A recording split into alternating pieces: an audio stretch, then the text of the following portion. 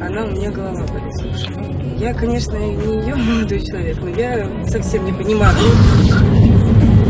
Сейчас, подожди.